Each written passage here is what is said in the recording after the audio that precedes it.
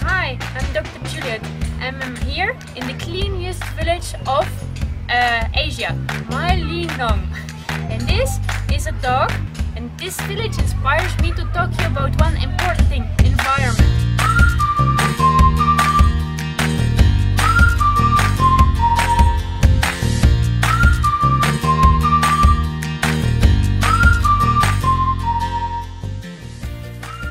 The environment where your dog lives in has to be clean.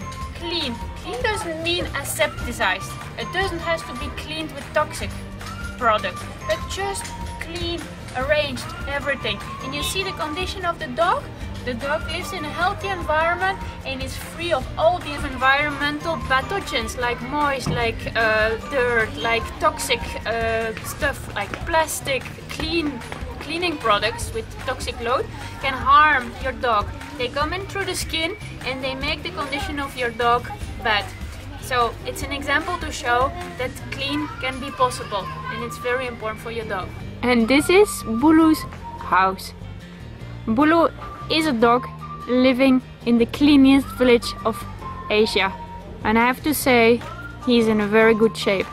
A non-toxic environment just a clean environment is the most important for your dog.